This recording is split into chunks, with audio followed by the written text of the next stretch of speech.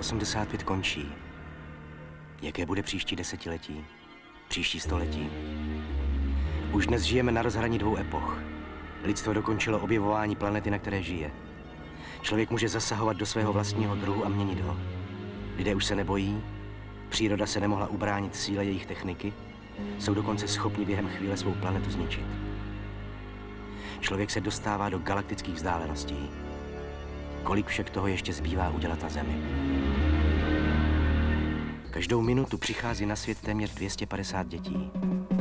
Počátkem letošního roku se lidstvo blížilo hranici 5 miliard obyvatel. Ještě před desíti lety se psalo, že se zem zhroutí pod velkým počtem lidí.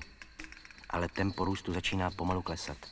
Přesto nás v roce 2000 má být zas o miliardu víc. Budou to lidé takzvaného třetího věku, to je nad 65 let, kteří se stanou v rozvinutých zemích hlavní silou. Ale nebudou to dnešní dědečkové a babičky. Někteří vědci neváhají tvrdit, že v 70 budou vypadat jako 30 letí a ve 100 jako padesátníci. Velký počet těchto lidí vyvolá značné změny v ekonomice. Ještě před pěti lety se tvrdilo, že 80. léta odstraní hlad. Ve skutečnosti dnes na 800 milionů lidí trpí pod výživou. Zemědělsko-potravinářský komplex se stal nejsilnějším průmyslovým odvětvím. Ale rozvojové země neinvestují do půdy a stále víc potravin dovážejí.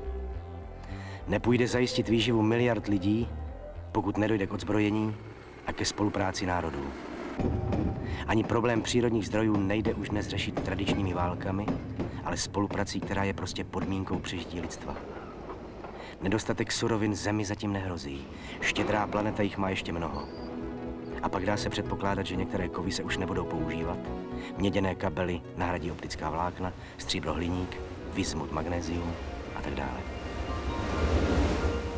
A zbývají ještě oceány, polymetalické konkrece na dně moří, které se skládají z manganu, niklu, železa, mědi a kobaltu.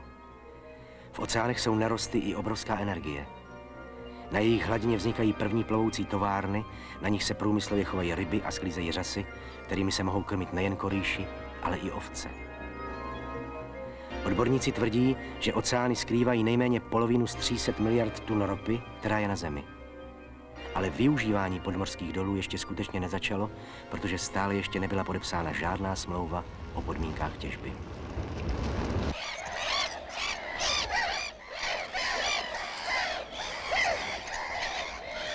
Co s průmyslovým odpadem? Co s odpadky? Je to tragický a obrovský problém naší civilizace. Ročně vzniká na Zemi skoro miliarda tun pevného odpadu. Před rokem 2000 ho bude dvakrát tolik.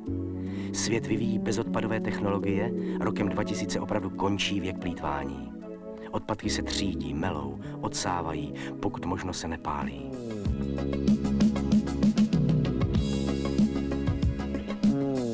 Zpracovávají se na hnojivo, dobytek konzumuje granule z odpadů, dělají se z nich brikety. I štěpný odpad má být znova zpracováván v reaktorech. Lidé se naučili rekultivovat skládky. Ale všichni věci se shodují v tom, že na příště bude patřit k půdu sebezáchovy a etice každého člověka vztah k životnímu prostředí.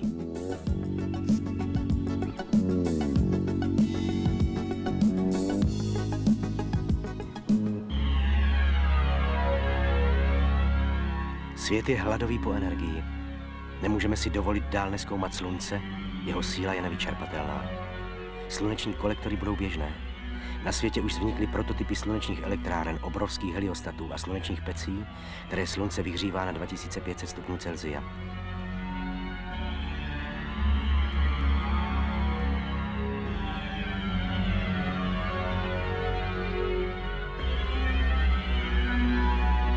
Vědci si představují sluneční elektrárny ve vesmíru, které budou mikrovlnami posílat energii do kolektorů. Chtějí využívat energii mořského přílivu a odlivu i sílu sopek. Jedním z posledních nápadů je zavést do žhavého magmatu země vodu, která by se měnila na páru pro tepelné elektrárny. Konec ropné éry se blíží, předvídá se na rok 2030. V žebříčku energií povede zatím uhlí, ale brzy nastane čas plynu.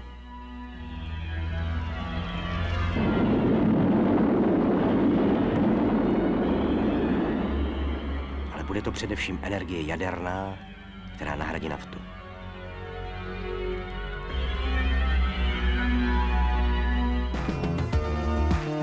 Robotů je dnes nejvíc v automobilovém průmyslu. Bude jich přibývat. Budou lidé natolik zralí, aby vzešla nová civilizace, ve které nepotřebný člověk nebude vytlačován z výrobního procesu, ale tvůrčím způsobem se do něho zapojí. Velký rozmach nastane ve zlepšení smyslového aparátu robotů. Už dnes rozeznáváme roboty materiální a intelektuální, neboli experty. Vysoce specializované programy, umělé inteligence. Здравствуй, человек. Здравствуй, человек. Говорит автоматический речевой дисплей. Как вам нравится синтетическая речь?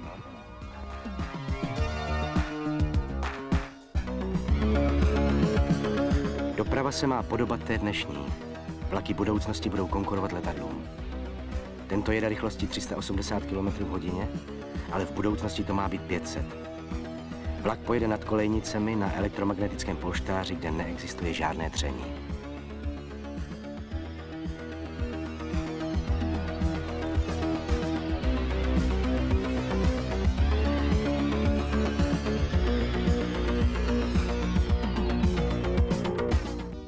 Tranzistorem dneška je mikroprocesorový čip.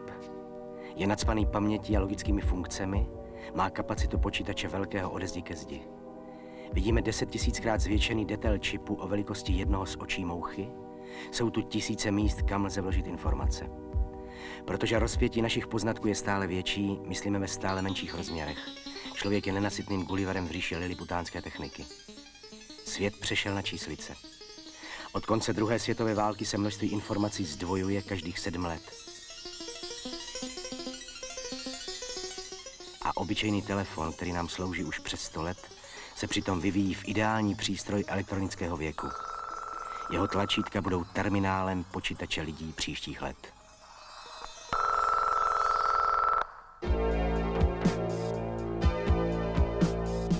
Nedůvěřujeme předpovědím, že do konce století lékaři zvítězí nad rakovinou. Ale mechanismus této choroby bude znám.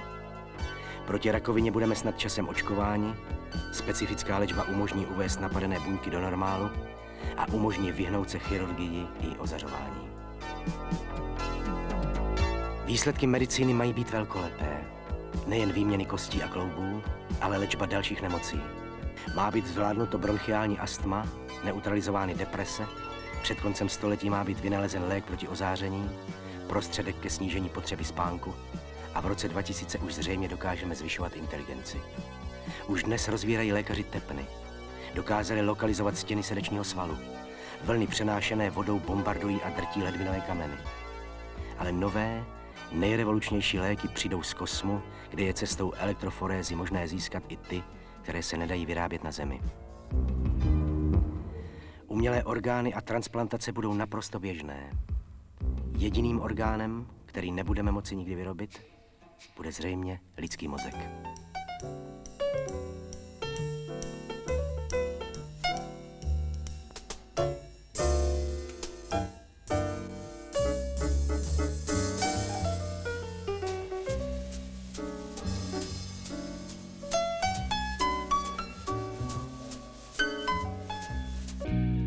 Během příštích let bude probíhat boj mezi tradičním vyučováním a novými způsoby poznávání. Učení z paměti je nezbytným cvičením pro mozek a jistá kumulace znalostí je nutná k utváření osobnosti každého člověka. Ale miliony našich poznatků musíme vložit do počítačů. Učit se bude metodám myšlení a postupům, jak informace najít. Děti budou počítače užívat k hraní i učení, vytvoří si vlastní soustavu třídění. Jako učitelku společenského života žádný počítač školu nenahradí, ale bude do ní organicky začleněn. Učit se musí dnes děti i učitelé. Svět čeká na inženýry 90. let, kteří vyrůstají s kalkulačkami. Naše civilizace vstupuje do věku mikroelektroniky, informatiky a biotechnologie. Teprve nyní začínáme tušit možnosti a důsledky vědecko-technické revoluce. Půjde o soužití nových technologií s vývojem člověka, který bude žít ve světě robotů. Měli by ho osvobozovat. Země je pořád ještě krásná a lidé na ní chtějí důstojně žít.